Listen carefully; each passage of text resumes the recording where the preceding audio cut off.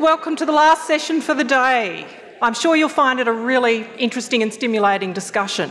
We had a great one just now, but I'm sure our, our panellists are up to it. The topic we're going to be talking about next is the importance of women as practitioners in national security and foreign policy, particularly in a deployed or operational capacity or context. And we've got some fantastic panellists who I'll introduce in a moment to talk about this topic. My name is Sari Sutton, as Rory mentioned, um, and I'm a secondee to the College from the Department of Defence. In my own career in national security, I've been privileged to have been uh, deployed overseas in a number of uh, operational roles in Bougainville and the Solomon Islands as a peace monitor, and in East Timor and Iraq as a policy advisor. National security policy is often developed in safe locations, remote and removed from an actual crisis, just like Canberra, we're all used to that, which is quite appropriate. But, and this work is necessary and critical. But the deployment of human capabilities into challenging, complex, or dangerous locations, wherever a physical presence or operational response to a crisis is required, is often necessary to resolve a situation or deliver real results. Many of our perceptions of conflict or crisis zones and the skills and the type of personal qualities or characteristics that are required to succeed in them are outdated. We have tended to think about the importance of physical strength, superior fighting skills, and weaponry. As a result, men have often been considered to be more suited to this work, as Chris Moraitis just mentioned, uh, more suited to the hard stuff. and to delivering the kind of results that were deemed to be uh, appropriate and thought to be required. There's no doubt that in many circumstances, physical strength and more traditional military skills still matter critically. But modern conflicts and human security challenges are often far more complex and multidimensional and demanding in terms of the skill sets required to accomplish a mission and bring about success. Much broader and more sophisticated skill sets are now required to achieve desired end states, whether they be in support of the national interest or internationally agreed outcomes. There are certain cultural contexts where deployed women can be mission critical because of their often privileged access to local women and key information. It is also well recognised that diverse teams tend to be better at solving problems and engaging in red teaming or exploring possible challenges or alternative futures, which is so important when we operate outside of our cultural comfort zones. But more generally, contemporary crises require the ability to work closely and effectively with a wide and diverse range of stakeholders interpret and navigate often highly complex, nuanced cultural, political, and religious factors in rural, remote, or urban contexts, with complex competing agendas and players, whether they be combatants, community groups, or foreign agencies and actors in the space, as well as often adapting to difficult physical conditions. Skills in negotiation, persuasion and diplomacy, analysis, the ability to make decisions on complex and sensitive issues under pressure, often independently and with limited resources and information, and the ability to make risk judgments that balance complex policy considerations and objectives can be critical to any kind of mission success. Women can and do excel in these fields. And as Minister Payne stated earlier this morning, their inclusion in operational contexts is indeed a real capability issue. So, what are the challenges we face on the ground and in getting women there in the first place? And what can we do to open up opportunities? Our panellists today are highly experienced in their fields and will have the opportunity to uh, explore this topic through three different and distinct lenses. I will introduce them in turn each before they present, but uh, we have with us today a highly experienced Australian diplomat, Ms. Lyndall Sachs, the Executive Director of the Australian Civil Military Centre, Dr Alan Ryan, and our final panellist, Dr Habiba Sarabi, who will also provide some perspectives as a woman with uh, some incredible experiences in her own country. It's wonderful to have you with us, Dr Sarabi. So I'll go to our first panellist um, for this afternoon, Lyndall Sachs. She's a distinguished Australian diplomat whose career has taken her to many uh, frontline conflict zones or countries emerging from conflict, including Lebanon, Rwanda, the Balkans, and Iraq, where she served as Australia's ambassador from 2011 to 2015. For her work in Lebanon, where she served as Australia's ambassador from uh, 2006 to 2009 and organised the evacuation of Australian citizens during this conflict, during the conflict, one of Australia's largest ever consular operations, she was awarded the Public Service Medal. Lyndall has also worked for the UN and the non government sector. Uh, she's currently Chief of Protocol at DFAT, so quite a different role. Um, Lyndall, it's wonderful to have you with us, and I shall hand it over to you. Thank you, Thank you very much, Sari. Yes, protocol is a very different job. Broken hand, it's a different sort of war zone. First of all, I'm very pleased to be here to discuss what, what is a matter which is very dear to my heart. You've had very many uh, eminent speakers who've discussed the policy frameworks, but I will speak more from a practitioner's point of view, as someone who spent 25 years working in conflict zones, as a UN official in the Balkan conflicts in the early 90s, and then the genocide and the post genocide in Rwanda and then Zaire in 1994. I've also worked in the NGO sector, where I focused on women's reproductive health rights in refugee settings. And then more recently, as was said, as ambassador during two major conflicts uh, the 2006 conflict in Lebanon, and then the Iraq insurgency and rise of Daesh from 2011 to 2015. I was also part of the advanced team of Australian officials who set up operations in the Solomons in 2004 as part of RAMSI as well. But my introduction to the marginalisation of women in conflict was during the Yugoslav conflict, conflict in 1991, when I and several other female UN workers had to fight to get sanitary items for women included as a part of the basic emergency kit. Ladies, we all understand what this might mean, and you can imagine what it's like in a conflict when you can't go down to the local pharmacy or supermarket and buy those all important items. It's very restricting. Fortunately, these battles over women's dignity are over, and over the past quarter century, I've seen significant improvements in the activism and engagement by women in conflict prevention and in resolution. At the grassroots level, I'm seeing greater engagement by the women in the communities affected by the conflict, but also by those working to help. In Lebanon and Iraq, I made a deliberate choice to prioritise support through our aid programs towards groups that's focused on support for women's groups.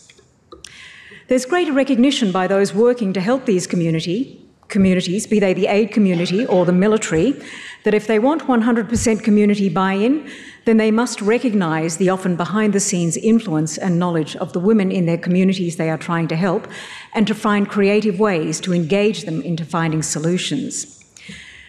This has in large part been achieved through greater participation by females working in the humanitarian and in the development sector, but also in diplomacy as well. This is not just at the worker level, which is always very important, but also in the more senior roles, uh, both in the UN, in diplomacy, and in the not for profit sector. In Iraq, most recently, the very impressive work done by a woman by the name of Lise Grande is driving a much more holistic approach to the development needs of the country, as well as the more urgent humanitarian ones. And the efforts by the United Nations to get more women into the UN Special Representative role is a very important step forward. But much, much, much more needs to be done. Now, why is this the case? Having women in these roles is important for several reasons. We have access to 100% of the population. In Iraq, unlike my male colleagues, I was able to sit with local women and hear stories firsthand about the very challenging lives they live. I've found that women are much more likely to focus on broader issues such as food security, access to services such as health and education, and security itself, rather than simply seeking access to power for power's sake. The experience of women of security challenges is very different to that of men also. Women face a continuum of violence and insecurity that does not end with the cessation of military action. Hence, their priorities for peace are very different. They need legal protections against generalised violence, as well as family violence and community violence. We also need to demonstrate the commitment to securing more women in senior positions and not just lecture these communities of the importance of it. In Iraq, as one of the few senior women, in fact, I was the first senior female ambassador, there's a first for you, um, and a very active one who was one of the few ambassadors that travelled extensively throughout Iraq. I was a novelty that garnered a lot of attention, and the media were covering me, and hence the local politicians were listening to what I was saying as well. But very importantly, and this has been a point that was raised earlier, I provided a very important role to women in the countries concerned, that they can play a role in their country's return from conflict. And this was drawn out to me very clearly in Baghdad when I made a point of going out to the universities and speaking with the women. They were very eager to see a role model and to explore how they might contribute to their communities. The other thing about having a woman in senior positions is it gives them courage and at times protections from those forces that can seek to impose or usurp their participation. Again, in Iraq, I made a point of making contact with women's groups and funding them and supporting them and visiting them regularly. And they often told me that my presence there uh, uh, was very useful because it, it meant that they, they were protected from harassment and threats that the watchful eye of a Western woman on them gave them heart, that they had this measure of protection as well. Now, the opportunities and challenges of working in these environments are enormous, and the benefits of when it's done successfully are immeasurable in terms of improving the lives not just of women and girls, but of the community as a whole. So, let me talk about some of the opportunities. I find that males find it easier to interact with female colleagues. We're perceived as less threatening, and I felt that they did not see me as a competitor. Therefore, they divulged much more information. But they were also more willing to negotiate. They didn't realise that this little pocket rocket was a tough old bag. there is a sense also that women are much more trustworthy. We're less likely to engage in corruption, but to put the interests of the wider community and their family first, rather than the clan or the tribe or self interest. The other point, of course, is that men are often more willing to talk to women. And if I cast my mind back to my work with victims of sexual, sexual violence in Bosnia, for male victims of sexual violence or for male family members of women and girls who'd experienced sexual violence, they felt safer talking to a woman than they would with a man as well of their experiences. Now, the other point that I would make is the process of engaging in negotiations for any of us who are involved in this requires patience, cooperation, listening carefully, and mutual understanding. These are often traits that are attributed to women. And I've observed over the years that male egos often take over in negotiations. Now, we as women in this room experience that on an everyday basis, and we've developed the stamina and the skills and the determination not to take no for an answer. But what of the challenges? It's not all sunshine and roses. Men who control the levers of power can be very resistant to change because it means a loss of power for them and access to resources in many cases. And this can not occur not just within the countries where there is conflict, but also within the organisations and the countries which are sent to help. And we need to find creative ways to minimise this. We need to, and we need to focus on the contributions and the enhanced wealth for all rather than just a narrow group. But I will also add that the problems are not just with women, and this was a point that was made earlier. There are entrenched attitudes amongst uh, conservative societies, but also amongst other women as well, uh, where they are not supportive of the work that women are doing. And I have to say, this was the most disheartening moment of my career when I heard the Minister for Women's Affairs uh, in Iraq uh, say to a group of, of about 350 women and men on International Women's Day say that the reason that women were experiencing problems in Iraq was simply because they were not religious enough. Now, of course, there are many challenges in being taken seriously and getting a woman's uh, voice heard. There is always the widespread issue of credibility of women and women's groups. There is often a sense that they are not strong, viable organisations, and therefore there is a much higher barrier for women to overcome if they are to get their voices heard. And I've had to do, have to deal with this within my own institutions as well, be, it within the United Nations, the charity world, and of course as a senior diplomat. I've often had to credential myself and I've had to demonstrate and prove that I had to do the job rather than just being taken at face value that I can do the job. I got selected for the job by a bunch of by, by a panel, so I must have the skills. And I have to say, I, I, have, I, I, can recall the look of shock at one meeting when I turned up and the rather dismissive manner in which I was treated until I firmly made it clear that I was actually the ambassador and I had to remove gender from the discussion, and then I was taken seriously. But of course, there are issues that we face in general life that also are what we're going to experience in the workforce as well, and in these contexts. The harassment.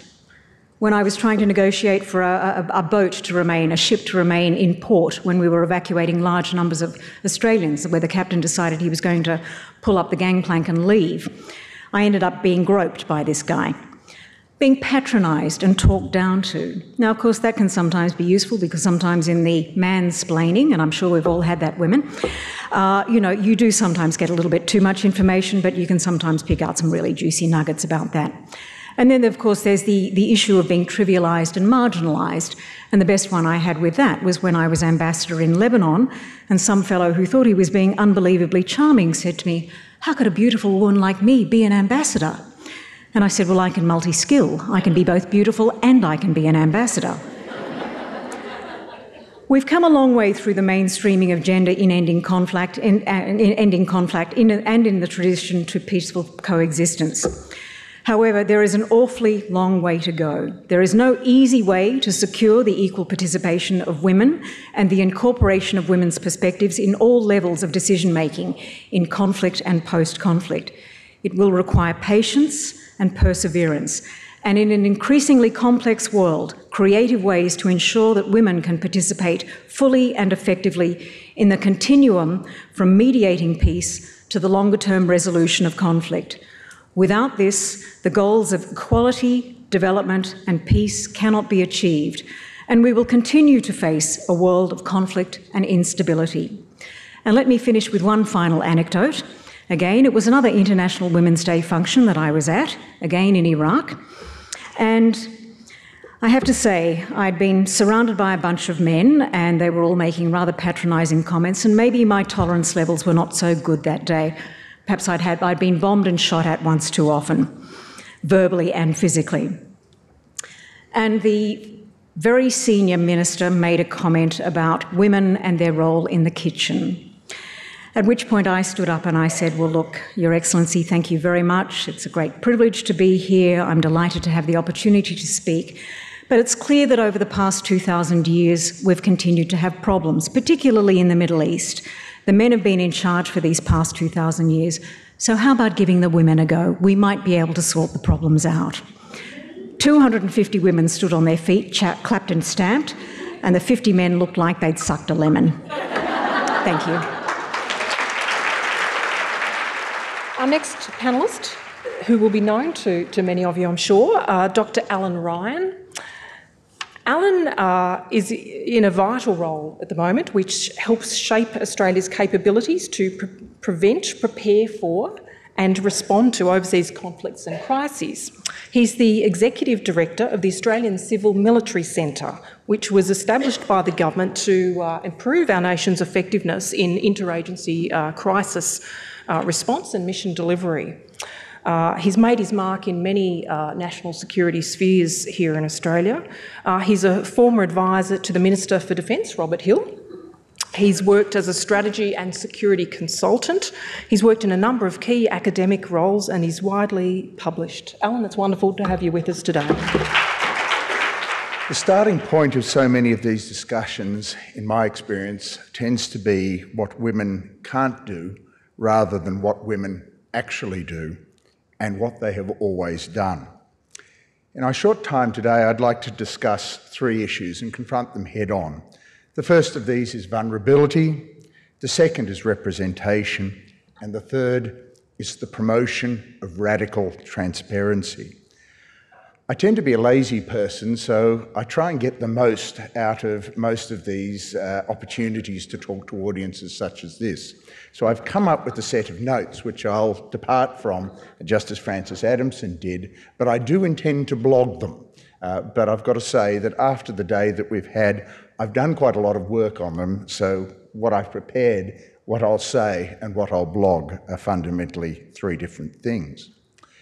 So let's be honest. Vulnerability. Women are vulnerable, just as vulnerable as men. It is a part of the human condition. Ultimately, men and women die at exactly the same rate, though in the circumstances that we're talking about, in complex situations in operations overseas, your statistical chance of getting hurt or killed will rise according to your gender.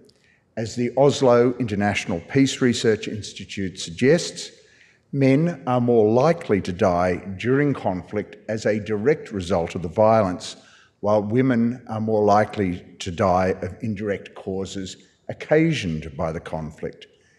And as we move from the industrial age style of conflict, of force on force conflict, to more diffuse models of violence, women are going to continue to suffer more. It will get worse, not better.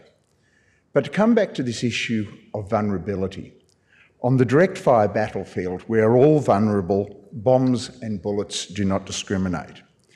I commend to you the excellent uh, publication that we put out at the Australian Civil Military Centre entitled Gendered Crises Gendered Responses, written by Sarah Shteir. That work disposes of stereotypes far more succinctly than I can in the time available. She demonstrates the complexity of gender in the operational context and warns us against accepting simplistic narratives. Importantly, she points out that we ignore the gendered dimensions of operations at our peril. I've tweeted that particular uh, uh, um, link. So not only do you get me speaking about this, but there's actually a range of supporting materials out there in the cybersphere. We need to acknowledge that we're all vulnerable when we are confronted with violence, disease, and unsafe environments. Certainly, when we look around this room, a larger number of women, a larger number of people from non traditional occupations have been exposed to those circumstances in re- recent times. We need to confront the fact that planners and deployed personnel need to be much more aware of the significance of gender on operations. But neither issue is relevant to the importance of women as practitioners in national security, which is what we're talking about now. You only have to be human to be vulnerable, and both men and women are capable of understanding why gender is important in that deployed environment. So, vulnerability is a fact. Take it as said. Moving to representation, you may well ask what is the issue? Certainly, there are operational tasks and roles that women will do better than men in some circumstances. A good example being when women need to communicate with women in a cultural context where gender matters. Women will often be able to access gendered spaces in an operational context with less disruption and negative effect than men. Lyndall's point that in stabilisation and reconstruction operations, women can be effective role models for other women. For example, women peace, police and officials will be able to demonstrate equitable workplace arrangements. Their absence from an operational context sends exactly the opposite message. Women can carry a message more effectively. A critical success factor for the Regional Assistance Mission in the Solomon Islands was engaging with women's groups to support the disarmament and demobilisation effects of the operation. This is the good news. But the current significant level of underrepresentation of deployed and deployable women is not contingent on anything that is specifically gendered. And this is perhaps where I depart from some of the comments with respect that Chris Moraitis made. There still aren't anywhere near enough women in the civilian, military, and police professions that contribute to offshore operations conducted by governments. I say governments because Government numbers do not stand particularly well when compared with civil society and non government organisations. Part of this lag factor for women, and particularly for more senior women, is that funnel effect which has been discussed.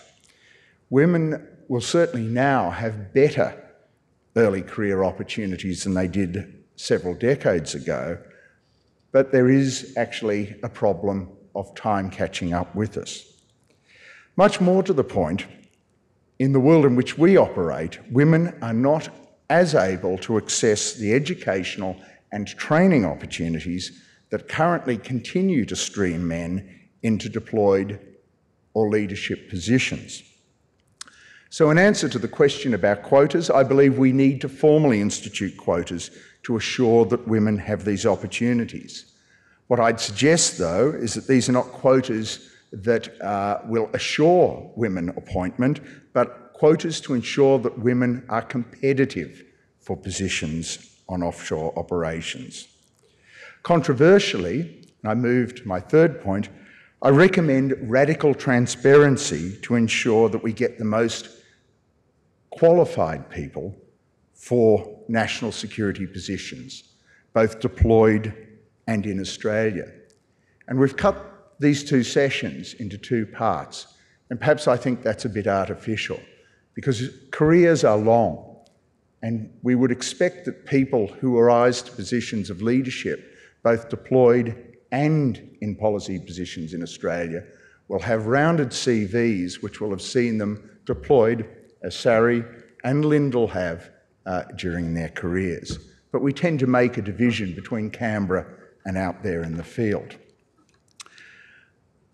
I'm going to put my career out on a limb now by suggesting that there are too many people, men and women in Australia, who've become practitioners in national security with inadequate education, training, and professional experience.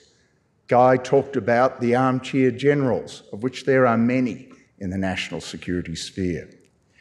A broad general education no longer suffices to prepare people for immediate employment in complex crises, let alone deployment into harm's way.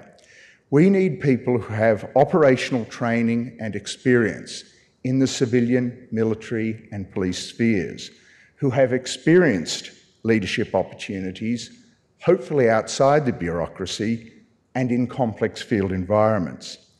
The educational qualifications of our people must be relevant. And this is where institutions such as the National Security College, still a relatively recent initiative, have a significant role to play. In the United States, it has been virtually impossible to become a senior official in both the political and career streams of public service without excellent postgraduate professional credentials. This is not the case in Australia. In the United States, senior officials' biographies are published on the internet. Here, they are anonymous. Failing to identify public officials' credentials is a practice that promotes cronyism, implicit bias, and lack of competence. Let's be honest, men have long benefited from the Peter principle of being promoted past their point of competence. And now women are finding themselves in the same situation, and unfairly, it is making some women vulnerable to criticism that they did not gain their roles by merit. To be frank, many women are poorly qualified for the positions that they hold in our national security system. But the same thing has always been true for men. More so for men because our systems implicitly favour the incompetent male. Why are you looking at me like that? Women will become more competitive for national security roles, including on operations, when they are assured the same career opportunities and development opportunities as men. We require transparent basis of comparison to demonstrate that we are appointing demonstrably capable people not just bureaucratic time services. Finally, I want to address the issue of physical suitability to undertake jobs because, as I started off by saying, we often talk about what women can't do rather than what women can do.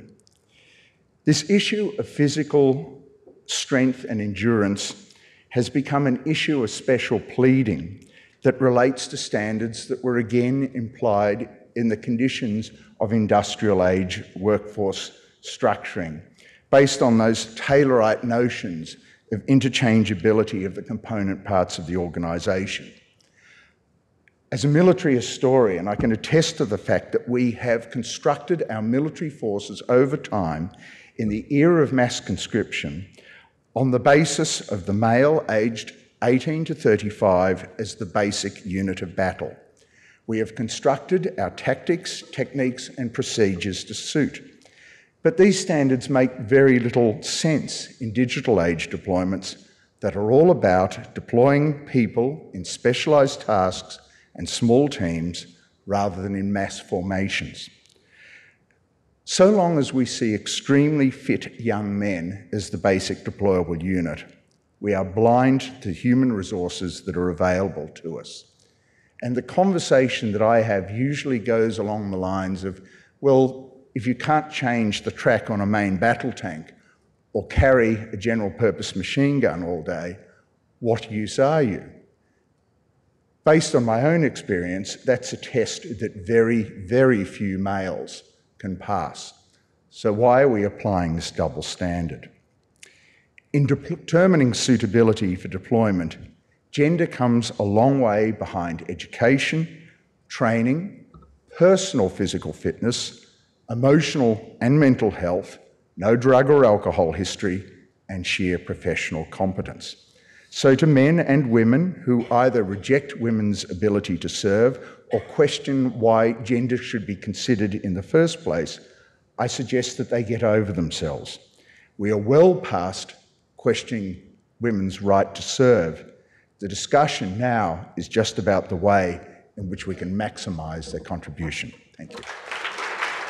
Our final panellist for this afternoon, Dr. Habiba Sarabi. Dr. Sarabi, it's wonderful to have you back with us again. We're honoured to have you with us. Uh, uh Dr. Sarabi is on her second panel for today, so we're working her hard while she's here with us in Canberra. Dr. Sarabi brings a wealth of unique and extraordinary, frankly extraordinary experience as a woman and a, and a politician in incredibly challenging conditions in Afghanistan. Dr. Sarabi is the Deputy Chair to the High Peace Council and the Senior Advisor on Women to the Chief Executive of the Islamic Republic of Af- Afghanistan. She's also a haematologist. So, Dr. Sarabi, welcome. Thank you very much, Sarah. Um, I don't want, I have a written paper, but I don't want to talk on my written paper. I want to talk the experience that I have in my, on, on the ground in my country. First of all, let me to tribute the women activists that they have paved the road to us to come together to talk about women, peace, and security, which is very important and relevant in my situation in my country. As a practitioner, uh, I want to talk on focus about the civil society role and uh, uh, in this regard, on this issue. And also, my, my background before, before working with the government, I, my background is working with civil society during the time that Taliban uh, had the control to whole Afghanistan, and after 1996, I fled from Afghanistan and went to Pakistan as an immigrant. So I started to work as a women activist for women's rights. Civil society in Afghanistan playing a big role and played a big role. Uh, even the time when Taliban was controlled Afghanistan, and all women were at home and they didn't allow to go out of the home to work but it was the civil society that working on the education healthcare and different other uh, service for or welfare work for afghan people. Even we were we had this uh, courage to go with burqa with uh, the total cover of uh, of the body. And I myself, different time um, between Pakistan and Afghanistan, I was going and coming and to help Afghan women especially did this um, the education program for women as an underground school.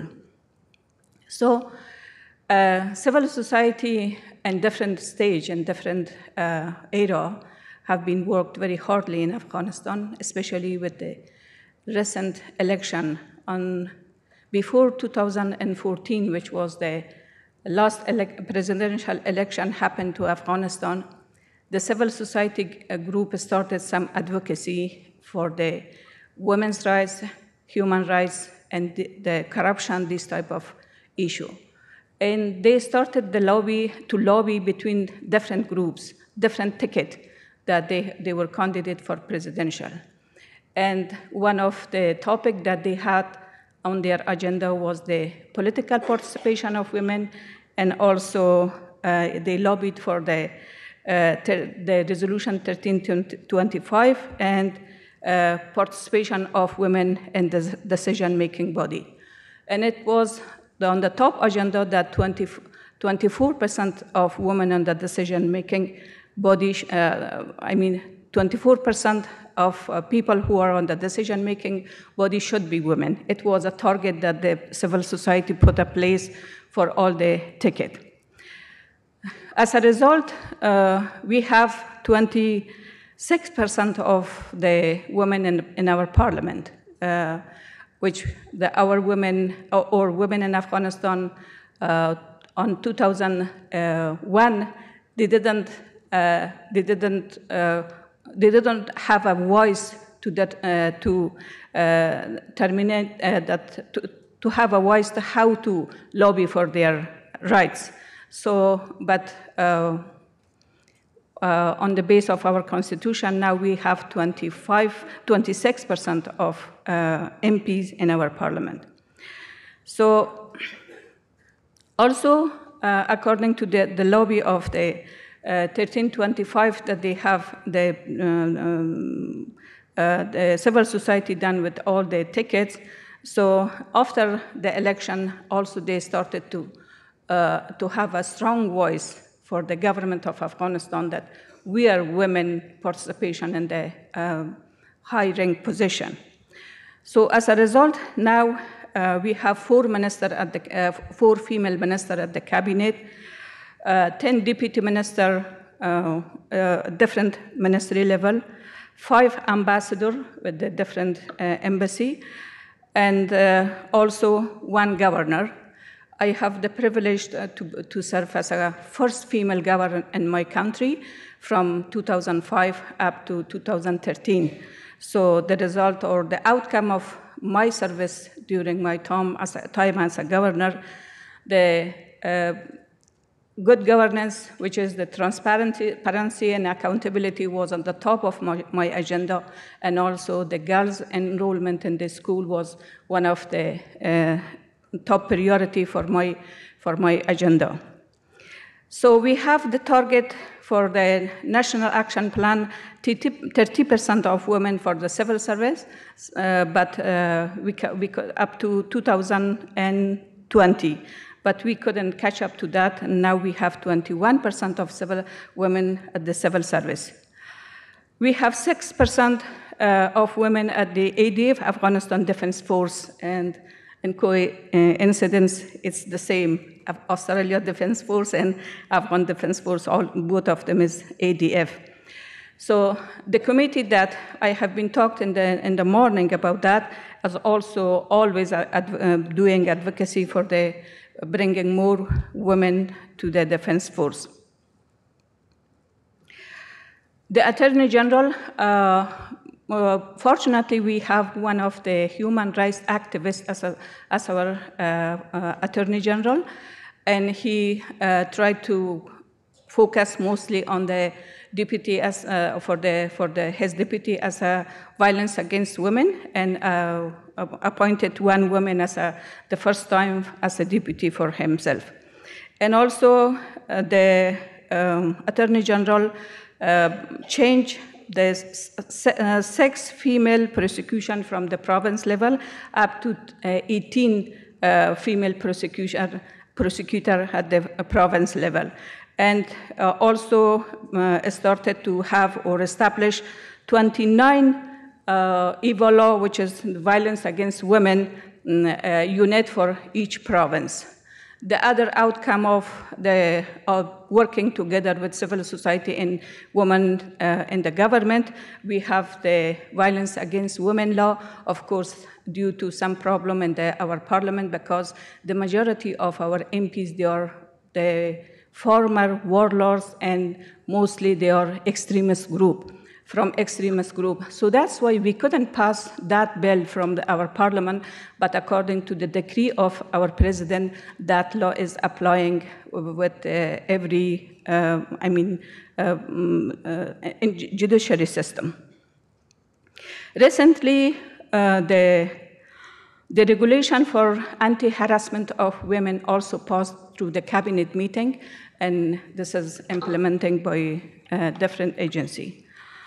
These were the achievements that we have uh, within, after 2000, especially after 2014. And so but it was the result of working with civil society, with women uh, at the um, government level together. So that's why we were able to have some achievement. But this achievement, and they are very fragile, as in the morning friends told about that, that, uh, of course, if we cannot be uh, very mobilized and we cannot work together, uh, this achievement will be broken very soon, especially if there will be, and at the policy level, the people or the policymaker will not be very gender sensitive, and also they are not uh, caring about women. Of course, these achievement, achievement will be very fragile. Um, I share some of the recommendations that we can do work together to, to defend these uh, uh, or to protect this achievement.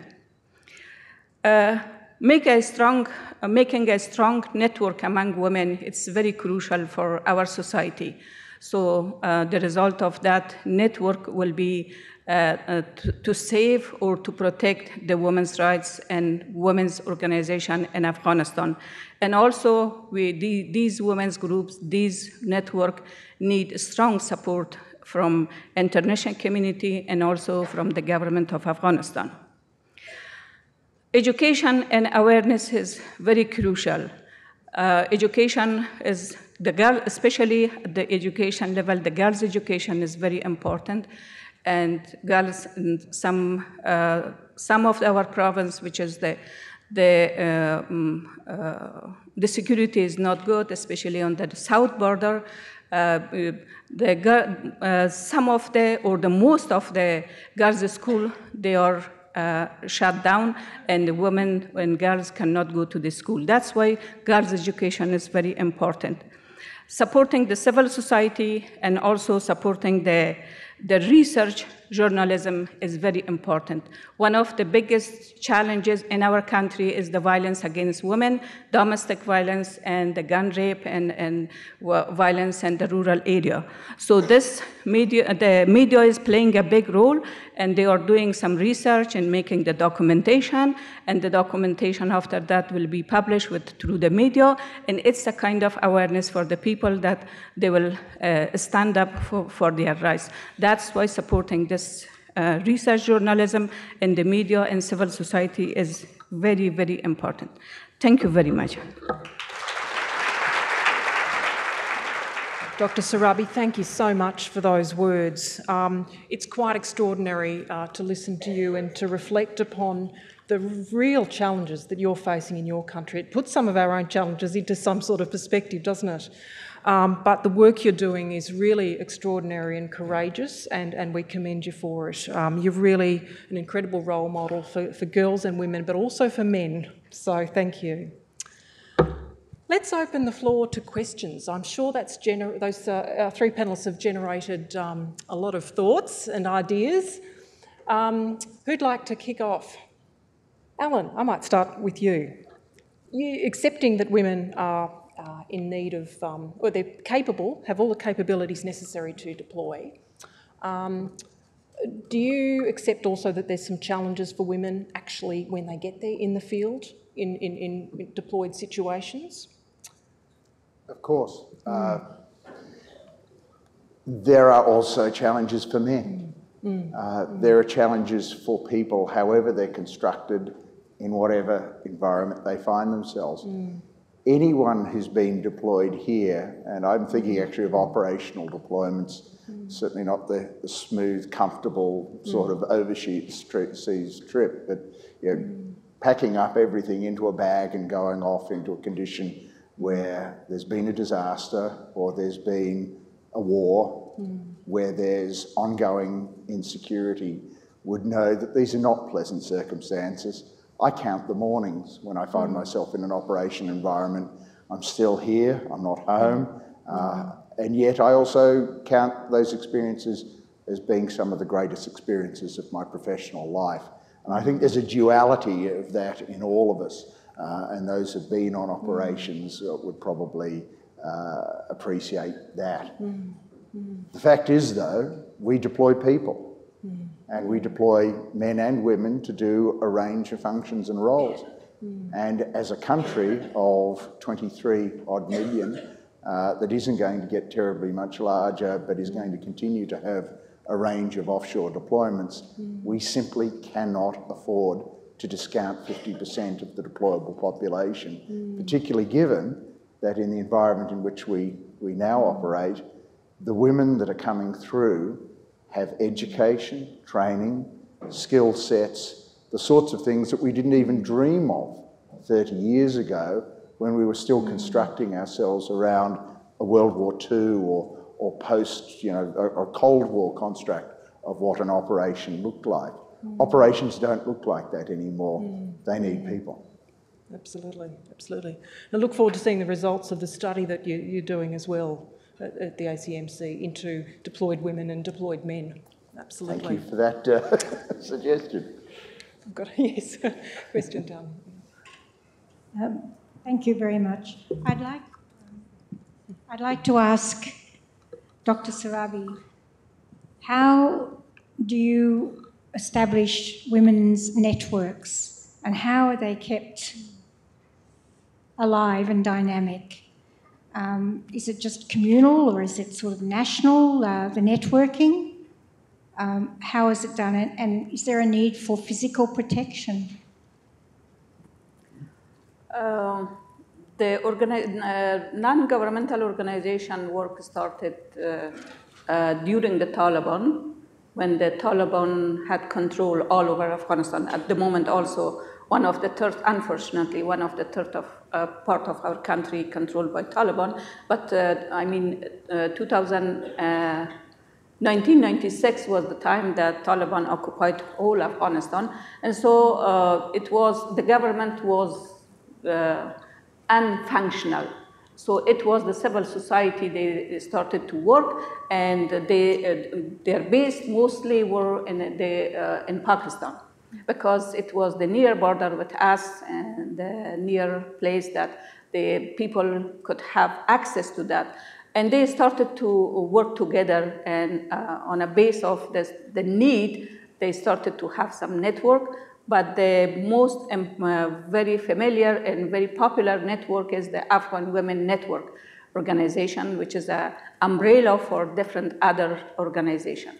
But uh, specifically on the peace uh, issue, so uh, I want on the uh, from address of the High Peace Council, I want to um, make the um, women network for peace only.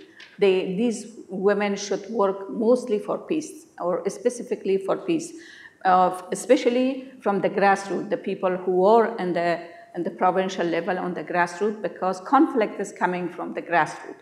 It's from different uh, issue, different reason can be. One of the biggest uh, reason for the conflict is the lack of education and also the poverty because the poor people, mostly the children of the poor family, are going to the uh, madrasas, religious, uh, religion madrasa, and after that getting the extreme education from, from there. The madrasas or the religious uh, school, we call it madrasa, these madrasas mostly producing extremist group to come to uh, Afghanistan uh, uh, to do some activity. Uh, hi, thanks very much for your brilliant presentations. Uh, just referring to uh, Alan Ryan's comment on incompetence in the national security practitioners, I was just wondering what sort of experiences do I guess all the panelists think are currently lacking in national security? Thank you. Well, I think I probably left myself open to that one. um, this is an opportunity for me to, to grab the handball that Sarah just threw to me, and I didn't catch quite as well as I should have. Uh, but we're completing a study at the moment. It's a study of deployed women's experiences uh, going back over the last two decades or so.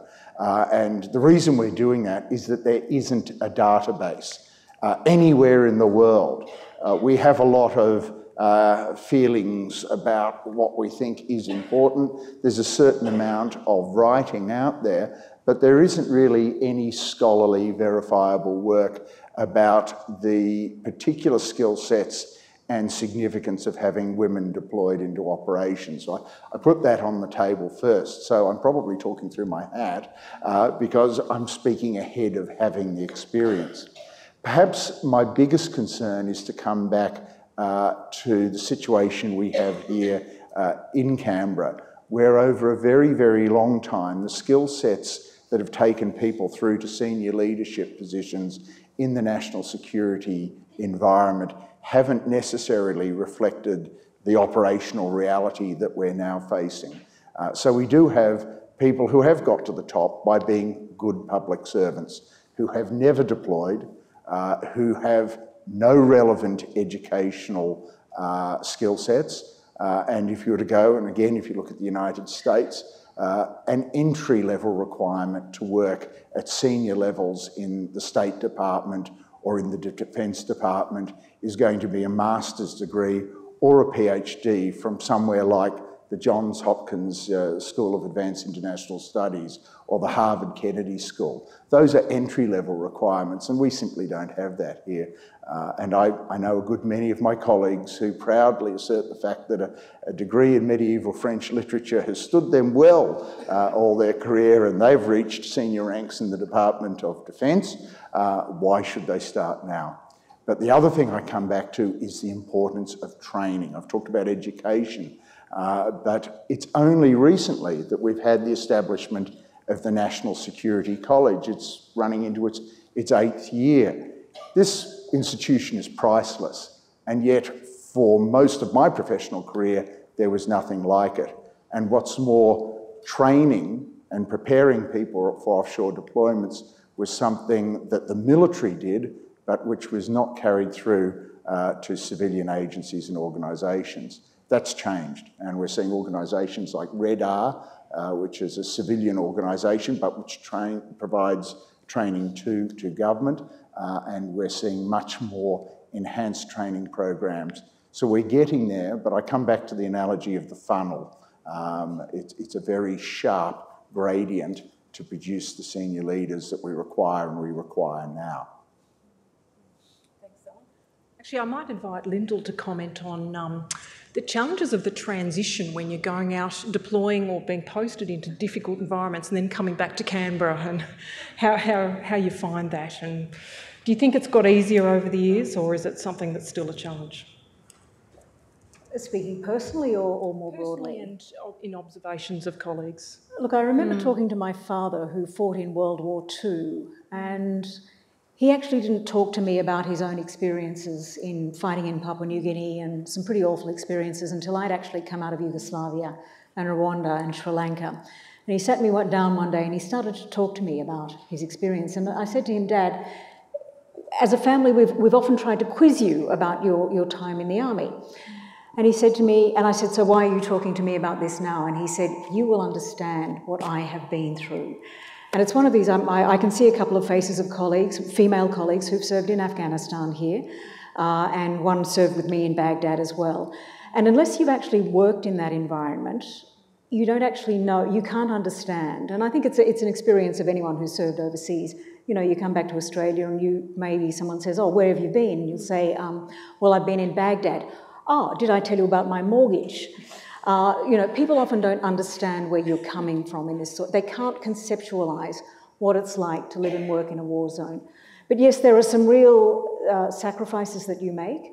Uh, for me personally, I think I get a lot of, um, of, of um, uh, uh, rich reward and experience from this sort of work because I'm a true public servant. I, I, I feel I have, I am here to serve the public. Uh, I feel like I have the experience to do it. Um, yes, there are major sacrifices that you make, but it's all part of life's rich tapestry. You know, there are a few drop stitches along the way, but at the end of it, you know, you've got a really rich experience that you can then bring to other aspects of your life as well. Uh, Linda, this question's for you. My name's Jennifer. I work at DFAT. I have four lovely colleagues from the security branch here, and it's been fascinating listening to you this afternoon about your experiences in those conflict zones. And I think what you've spoken about is, um, are those experiences that have given you credibility in a space that's often quite complicated and often quite male dominated, um, especially in our organisation. Um, I've, I've, made some interesting observations uh, over the course of the day, but one thing that's kind of DFAT specific um, you know, I noticed that we have quite a few women in these conflict or volatile um, posts in policy positions and leadership positions like yourself. But in the security space, um, like the four of us here, we're all uh, potential regional security advisors um, and well qualified to, to be regional security advisors. But in fact, we have 15 RSAs across the network and only three women in those positions. And interestingly, those positions um, are normally not ones which attract women because they're in those conflict zones like Baghdad and Kabul, where um, women who perhaps have children or family uh, commitments actually can't go there because it's qu- it's quite difficult to do that. You know, two months in, one month out, and that rotation um, it becomes quite difficult. Um, I'm just wondering if you have a sense about um, how we women build credibility in that space if we're unable to actually get those gain those experiences as regional security officers, which are normally positions held by men. First of all, let me say, I, in Baghdad, I had a couple of women who had children uh, who chose to come on postings. They had very supportive partners. Uh, and in fact, one of them, her partner had, uh, the previous time that one of them was going to be overseas was actually in Kabul. So they both actually shared very difficult postings. In terms of working in that sort of context and in terms of getting your credibility, it's it, it is quite challenging because there are a whole lot of assumptions about what you were saying, Alan, about what women can and can't do. And certainly when I arrived in Baghdad, I made it pretty clear that, you know, I can do anything. I, I may not be able to, you know, bench press 250 kilograms, but I can bench press 250 kilograms of strong words against someone that's going to leave them quivering at the end. so, you know, you have to use your skills and capabilities in different ways. Uh, and you have to know where you can use these, these, these contextual, uh, use these skills as well. You know, it's, it's, I felt the biggest challenge for me working in this sort of environment was about having to credential myself and prove myself every time. It took me about 18 months before people would know that's Lyndall and she's pretty tough. And it was when, you know, it was to do with keeping the embassy open, and I fought to keep the embassy open, and I had the weight of Canberra on me, and I had the weight of ISIS on me as well. So, you know, to withstand those two pressures was quite significant. And I think then people realised that, yes, you're a person who can do a job. My gender just didn't come into it at that point. And I, I, I constantly rail about the fact that you're judging me as a woman first and my professionalism second, and it should be my professionalism first and my gender second. My gender has nothing to do with it. Uh, yes, I may not be able to bench press 250 kilograms, but I don't need to do that in my job, as, as, as, as Alan was saying before. So we need to reframe how we approach work, and we, it's, it's behoven upon all of us, men and women. We women have to have more confidence. We have to be out there saying, I can do this, rather than saying, well, I've only got 98.9% of the skills, so I won't do the job. Whereas some bloke will say, well, I've got 60% of the skills, so I can do it, I'm sure you know, we have to have more confidence in our abilities.